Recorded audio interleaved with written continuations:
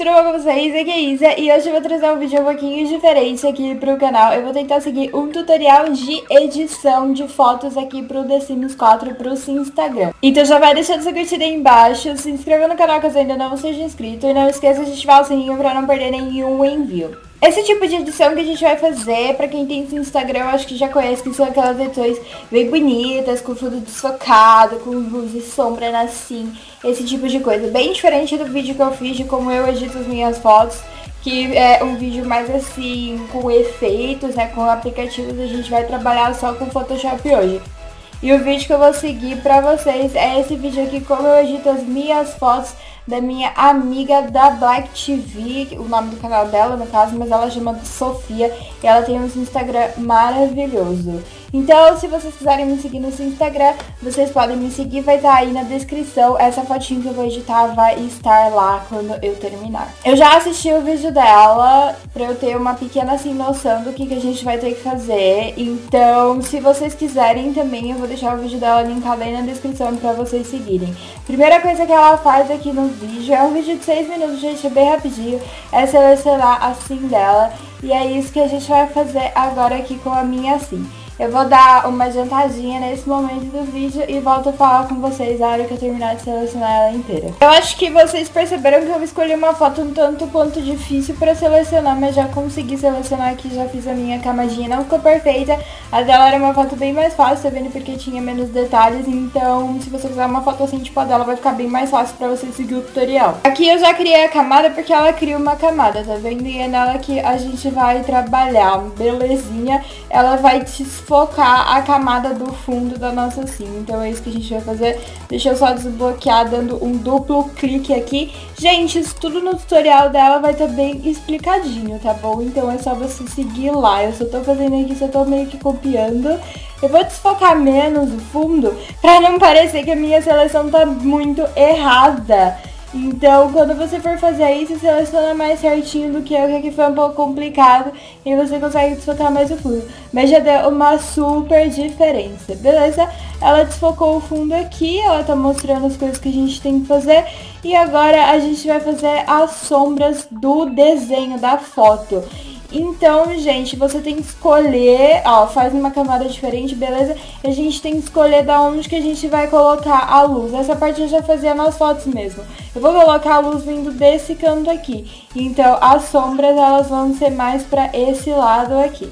A gente vai pegar o pincelzinho e vai começar a contornar a nossa cinha inteira aqui, ele bem pequenininho. Sempre fazendo numa camada nova porque a gente vai ter que desfocar isso depois. Eu vou contornar ela aqui, vocês vão ver eu contornando ela inteira, todos os contornos pretos primeiro, depois a gente vai dar um jogo de luz e depois a gente vai fazer os contornos da pele dela, que é um negócio que ela não faz no vídeo, eu já sei, mas eu quero fazer porque eu acho que fica legal.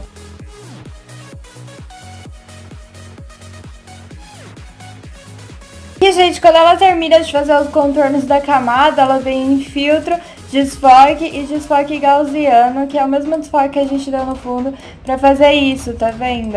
E aí você escolhe o tanto de sombrinha que você quer colocar na foto, se você quer colocar mais ou menos com esse desfoque. Vou mostrar pra vocês a diferença, ó dá uma diferença grande, né? Então, como a luz tá vindo daqui, aqui eu não coloquei tanta sombra, eu coloquei aqui porque o braço dela faz, coloquei todas as sombras voltadas pra cá. E agora eu vou fazer isso no rosto também e vou dar um pouco mais de detalhes.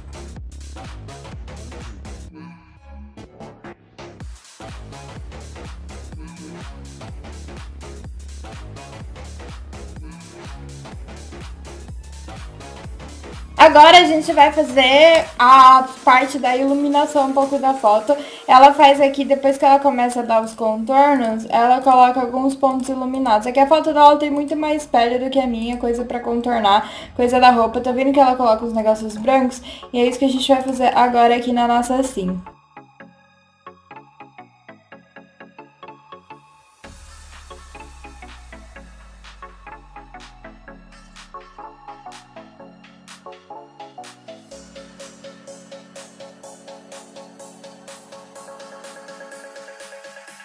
Já fiz todos os contornos claros, o tutorial dela já vai pro efeito de flash, mas eu vou fazer um negócio que eu particularmente gosto um pouco, que eu vi em outros tutoriais, então é uma junção aí. É o meu toque especial ao tutorial da Sofia. O que eu vou fazer aqui? Eu vou vir nessa ferramentinha de subexposição aqui. Tem subexposição e superexposição. Eu tô com a superexposição eu vou escurecer um pouquinho a beiradinha do nariz dela. Eu tô dando sombra sem fazer o negócio do desfoque, tá vendo? Eu só tô escurecendo a própria pele dela.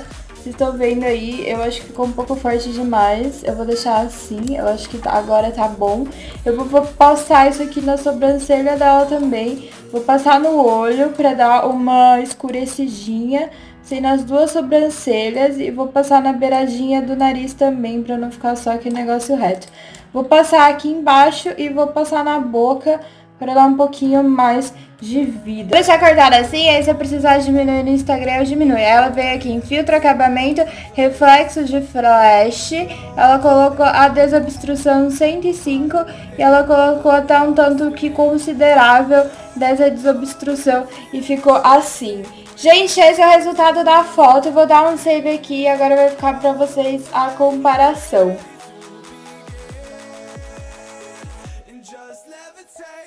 Espero que vocês tenham gostado do vídeo. Lembrando que eu vou deixar o tutorial dela aí na descrição.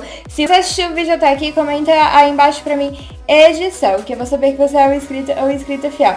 Um beijão, adoro vocês e até o próximo vídeo.